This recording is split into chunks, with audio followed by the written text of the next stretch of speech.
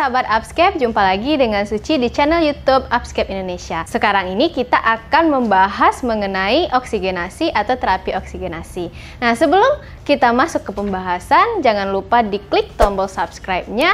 Terus apabila teman-teman merasa video ini bermanfaat, silahkan di-share dengan teman-teman lain atau klik tombol like. Baiklah, kita langsung saja mulai ke materi kita yaitu materi tentang oksigenasi. Nah, sebelumnya oksigenasi itu apa atau apakah terapi oksigenasi itu? Nah, jadi terapi oksigenasi itu adalah terapi oksigen yang diberikan e, kepada pasien dengan kondisi hipoksemia, yaitu kondisi di mana tekanan oksigen dalam darah atau PaO2-nya adalah di bawah 60 mm Hg dan saturasi oksigennya adalah di bawah 90%. Nah, apa tujuan kita memberikan terapi oksigen, yaitu yang pertama adalah untuk mengatasi hipoksemia itu sendiri. Nah, yang kedua yaitu untuk mengurangi usaha bernafas dan yang ketiga adalah untuk meringankan beban kerja miokard. Kita langsung masuk ke materi pembahasan tentang oksigenasi atau terapi oksigen. Nah, untuk terapi oksigen ini ada beberapa alat yang bisa kita gunakan untuk memberikan terapi oksigen bisa melalui sistem aliran rendah dan bisa melalui sistem aliran tinggi. Nah, pertama kita masuk dulu ke sistem aliran rendah. Nah, di sini ada beberapa alat yang bisa kita gunakan untuk memberikan oksigen atau mentransfer oksigen pada pasien. Nah, yang pertama adalah nasal kanula. Nah, nasal kanula ini diindikasikan untuk penggunaan oksigen dengan aliran rendah.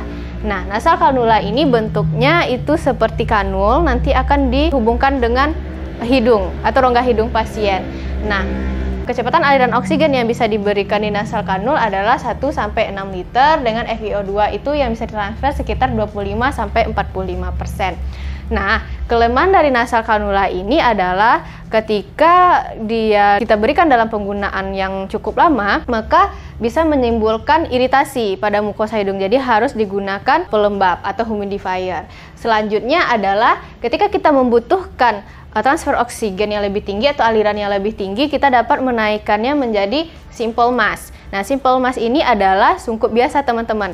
Jadi, sungkup biasa yang dapat memberikan aliran oksigen itu sekitar 6-10 liter per menit dengan oksigen yang ditransfer yaitu atau FiO2 yang ditransfer 35-60%. Nah, selanjutnya yang ketiga itu adalah sungkup non-rebreathing mask. Nah, sungkup non-rebreathing mask ini digunakan untuk indikasi keperluan FiO2 yang tinggi. Nah, bentuknya seperti masker atau sungkup namun memiliki katup sehingga dia bisa mentransfer oksigen itu 10-15 liter per menit dengan transfer oksigen maksimal itu 100% atau FiO2 maksimal 100%. Nah, bisa kita bagi transfer FiO2-nya yaitu apabila kita lepas kedua katupnya teman-teman, maka FiO2 yang tertransfer itu 8 sampai 85%.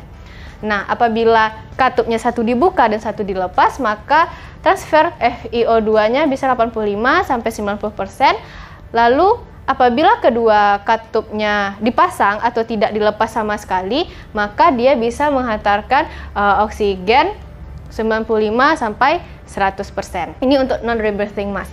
Yang selanjutnya adalah sungkup parsial atau rebreathing. Nah, ini diindikasikan untuk pasien yang memerlukan tekanan CO2 yang lebih tinggi sehingga pasien dapat menghirup kembali CO2 yang telah diekspirasikan. Nah, dia kecepatan alirannya itu kita gunakan 6 sampai 10 liter per menit dengan aliran oksigen atau FiO2 yang bisa diberikan yaitu 50 sampai 60%. Baiklah, yang kedua yaitu bisa kita berikan oksigen atau memberikan terapi oksigen melalui sistem aliran tinggi.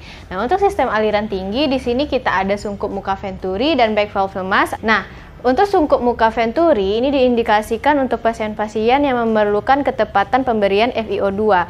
Jadi FiO2-nya bisa kita setel berapa yang akan kita berikan. Di sini kecepatan pemberiannya itu adalah 4 sampai 8 liter per menit dengan FiO2 itu 24 sampai 60%. Nah, pada sungkup muka venturi itu akan terdapat beberapa katup yang ukuran dan warnanya berbeda-beda. Seperti warna biru dapat memberikan oksigen atau FiO2 itu 24%, Warna putih memberikan FiO2 28%, warna jingga memberikan FiO2 31%, kuning memberikan FiO2 35%, merah memberikan FiO2 40% dan hijau memberikan FiO2 sebanyak 60%. Baiklah, yang kedua itu ada back valve mask atau BVM diindikasikan untuk pasien yang memiliki masalah ventilasi atau tidak mampu untuk bernafas atau tidak efektif dalam bernafas atau melakukan ventilasi. Nah, ini biasa kita temukan di rumah sakit dengan bahasa bagging. Nah, ini dia back valve mask